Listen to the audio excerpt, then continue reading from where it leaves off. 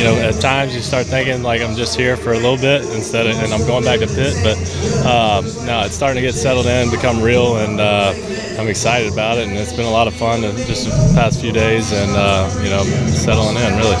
Yeah, Joe's been a huge help. Can't thank him enough for that. And, um, yeah, just you know, talking to the guys, letting them know, or they're letting me know how things are done, and uh, you know, just watching and learning really. I mean, uh, I mean everything from coffee when you wake up to a bourbon at night. So it's everything in between too. Know, that's him. He, he loves uh, the, the, hospitality type stuff, and uh, he's really good at it. And you know, I'm happy to call him one of my buddies. The very first game, your game comes on a Tuesday night against the A's, and there was 40,000 people at Petco Park. What was what was that first game like for you, and just to see the sort of crowd that the Padres have now? Well, it was fun. Um, place is electric. It's a lot of fun playing in front of that. And, um, and then being a Tuesday night says a lot about the fans in the city of San Diego. So, uh, you know, that, as a baseball player, that's what you want. That's what you get up for. That's what you live for. So, uh, hopefully, we got that again tonight. The picture that was the picture that was going on that night was uh, the look on your face after Tatis hits that home run.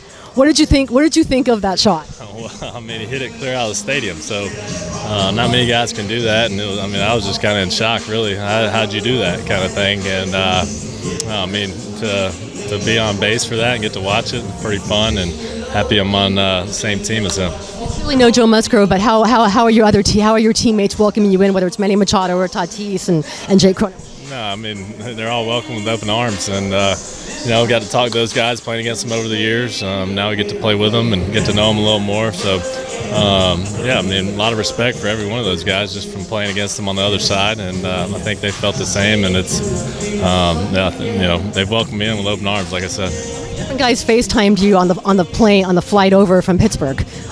Uh, traded. I know Musgrove said he FaceTimed you. How many teammates, your new Padres teammates, jumped on that? Oh no, I mean you had Caratini and you and uh, Tatis. They're all you know jumping on, yelling at me. But uh, I was still in the clubhouse in San Francisco, so I didn't get to talk too long. Uh, but yeah, it was uh, it was just exciting, weird kind of moment as well, uh, leaving my teammates there and then being welcomed by, by the new guys. So uh, yeah, it was a cool moment. Versatility is one thing, but where's your comfort zone as far as playing defensively? I know Jay said you're gonna first few games will be in left field, eventually at first, but where do you see yourself playing? I mean, I'm comfortable in left, comfortable at second. Um, you know, I got to get comfortable in right too because I think I'll be out there at times. So, um, I mean, obviously second base because I played that the most. But I'm, you know, I don't care where I play. I don't care where I hit in the lineup. It's uh, wherever I can help the team win and wherever Jayce asks me to go play. So, um, you know, like I said, I'm just here to help the team win any way I can, and looking forward to that some time with Bobby Dickerson. What's what's it like getting to know him? We've heard a lot about about his sort of personality, and I know a lot of guys say that he is one of the best coaches they've ever had. Yeah, um, I've had a lot of guys reach out to me, and Bobby D's the man. Um, he's, he's got the Mississippi ties with me, so we've already hit on that. I know his son's here today. My old roommate coached him last year at Southern Miss, so uh, no, Bobby's great, and I look forward to getting to work with him and getting better on defense and. Uh, you know, I'm just just excited about that too. What's your personality like? I mean, we still we can see what kind of player you are, but are, what are you like? Pretty laid back, pretty easy going. Uh, I don't show a whole lot of emotion, and uh, that's about it, really. I mean, I'm pretty pretty laid back. For a laid back guy, then, is the swag chain going to fit with your demeanor and your style?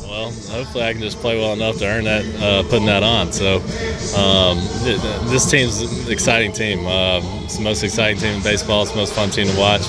Happy to be here and happy to be able to join it. And uh, yeah, like I mean, I don't really care. I want to. I'd love to put the swag chain on. So um, yeah, I mean, it's fun.